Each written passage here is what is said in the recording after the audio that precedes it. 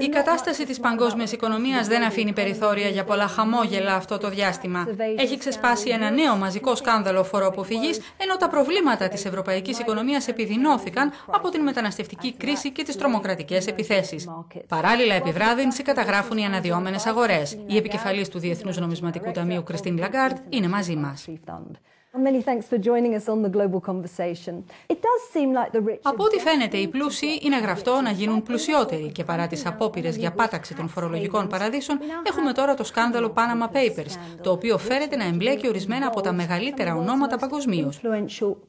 Πιστεύετε πως αυτό το σκάνδαλο, αυτές οι διαρροές πρόκειται να αλλάξουν κάτι; Θα έπρεπε να αλλάξουν κάποια πράγματα, διότι απλώς αποδεικνύεται πως η αρχική δουλειά που ξεκίνησε για το θέμα το 2010-2011 υπό Γαλλική Προεδρίας του G20 δεν έχει ολοκληρωθεί και απέχει πολύ από αυτό.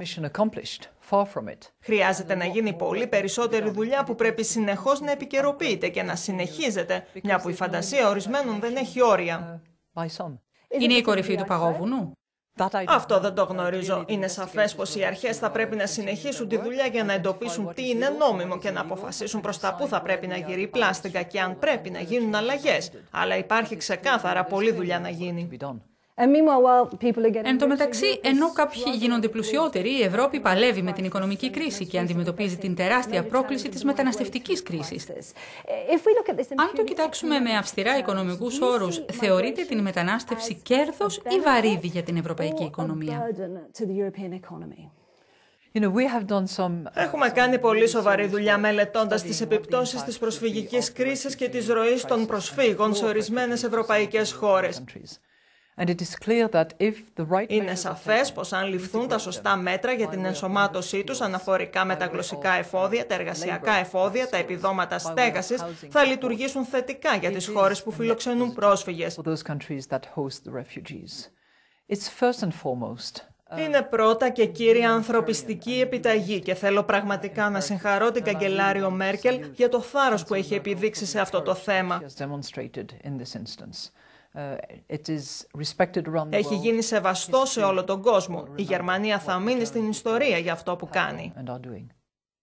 Βρισκόμαστε εδώ στην Φραγκφούρτη, έδρα τη Ευρωπαϊκή Κεντρική Τράπεζα και παραμένοντα το θέμα τη ευρωπαϊκή κρίση, ο πρόεδρο τη Τράπεζα Μάριο Ντράγκη έχει πει πω θα κάνει ό,τι μπορεί για να βάλει και πάλι την Ευρώπη στι ράγε. Εύλογα όμω δημιουργείται η εντύπωση ότι του τελειώνουν τα πολεμοφόδια. Δεν θεωρούμε πως στις κεντρικές τράπεζες τελειώνουν τα πολεμοφόδια. Αυτό που πιστεύουμε είναι πως δεν μπορούν να ενεργούν μόνες τους. Η εκκίνηση οικονομιών, η βελτίωση της ανάπτυξης, η πραγματικά στέρεη ανάκαμψη δεν θα επιτευχθούν μόνο με νομισματικές πολιτικές. Χρειάζονται οι νομισματικές πολιτικές, αλλά επίσης χρειάζονται δομικές μεταρρυθμίσεις. Θα χρειαστούν δημοσιονομικά μέτρα και αυτά τα τρία μαζί θα βοηθήσουν ουσιαστικά στην παλινόρθωση της οικονομίας στην Ευρωπαϊκή Ένωση και ειδικότερα στην Ευρωζώνη, μια που μιλάμε για νομισματική πολιτική. Είναι επιτακτική ανάγκη. Μιλώντας για προσπάθειες επίτευξης στόχων, παρακολουθούμε την Ελλάδα. Φαίνεται να αντιμετωπίζει προβλήματα και πάλι. Έχουν υπάρξει διαρροές ότι το Διεθνές Νομισματικό Ταμείο έχει πει ότι το να βρεθεί η Ελλάδα στο χείλος του γκρέμου ενδέχεται να έδινε όθηση στις διαπραγματεύσεις. Γνωρίζω πως έχετε πει ότι πρόκειται για ανοησίες, αλλά πόσο κοντά είστε σε μια συμφωνία, μια που μοιάζει αρκετά μακριά; Έχω επανειλημμένω πει πως χρειαζόμαστε ένα πρόγραμμα όπου βγαίνουν οι αριθμοί που κατακτά το στόχο της αποκατάστασης της οικονομικής σταθερότητας και όπου το χρέος θα είναι βιώσιμο μακροπρόθεσμα. Αυτές οι τρεις παράμετροι παραμένουν επιτακτικές όσο ποτέ. Έχει γίνει δουλειά, έχει γίνει πρόοδος, αλλά η δουλειά πρέπει να συνεχιστεί και να διατηρηθεί, ώστε να μην μείνουμε στη σφαίρα μιας γρήγορης λύσης, αλλά να έχουμε πραγματικές μεταρρυθμίσεις που θα συντηρήσουν και θα υποστηρίξουν τον ελληνικό λαό μακροπρόθεσμα. Και αν οι μεταρρυθμίσεις δεν εφαρμοστούν, τι θα κάνει το Ταμείο; Ασφαλώς ελπίζουμε ότι θα εφαρμοστούν, όμως οι αριθμοί πρέπει να βγαίνουν, καθώς θα υπάρξουν συμβιβασμοί. Συμβιβασμοί μεταξύ μεταρρυθμίσεων από τη μία πλευρά και διαχείρισης του χρέους από την άλλη. Έχουν υπάρξει συζητήσεις πως μια πιθανή χρεοκοπία της Ελλάδας ενδεχομένως θα ερχόταν την ίδια στιγμή με το Brexit, το δημοψήφισμα για την έξοδο ημί της Βρετανίας από την Ευρωπαϊκή Ένωση. Ορισμένοι στο Διεθνές Νομισματικό Ταμείο φέρονται να έχουν πει πως θα ήταν καταστροφή. Ποια είναι η άποψή σας; What we hope is uh, progress Ελπίζουμε να υπάρξει πρόοδος και απομάκρυνση από την αβεβαιότητα, οπότε πιστεύω ότι δεν πρέπει να συνδυάζουμε τα δύο. Ποτέ δεν ήταν διαπραγματευτική μας προσέγγιση ούτε στρατηγική μας να στοχεύουμε σε αυτό.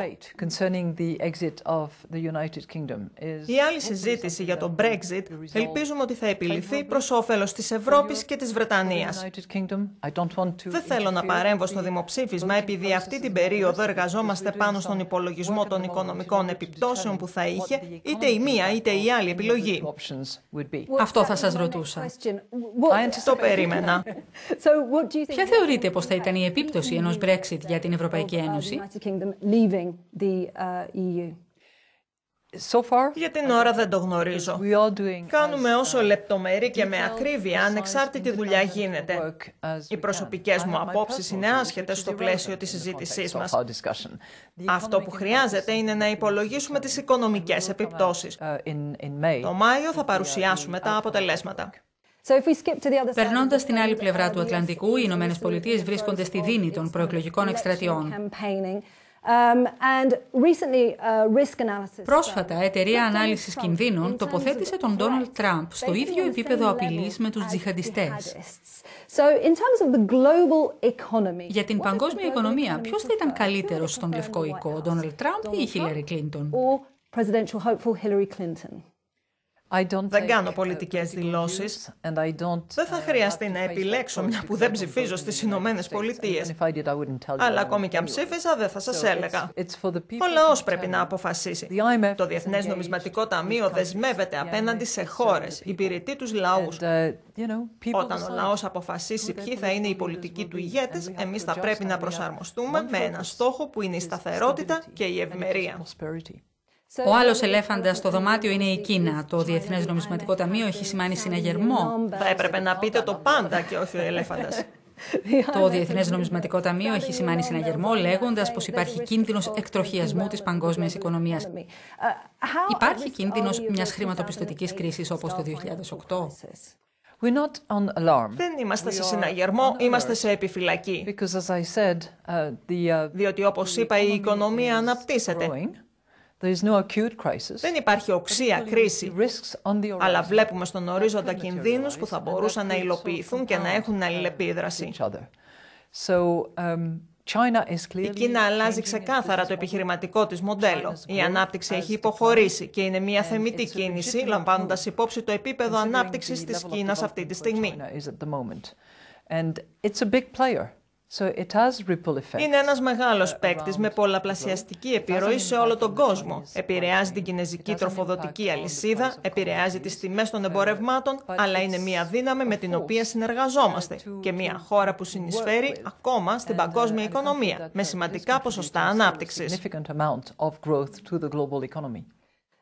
Κάνοντας μια ιδιαίτερα αγχώδη δουλειά, αντιμετωπίζετε μια δίκη. Είστε κατηγορούμενοι για αμέλεια στην υπόθεση καταβολής 400 εκατομμυρίων ευρώ στον Γάλλο επιχειρηματία Μπερνάρ Ταπί. Αυτό που θα ήθελα να μας πείτε είναι κατά πόσον σας επηρεάζει στα καθήκοντά σας, ειδικότερα τώρα που ξεκινήσατε την δεύτερη θητεία σας. Δεν επηρεάζει καθόλου τη δουλειά μου. Οι δικηγόροι κάνουν τη δουλειά τους, η έφεση έχει υποβληθεί, η διαδικασία θα πάρει το δρόμο της. Christine Lagarde, many thanks for being with us on the Global Conversation.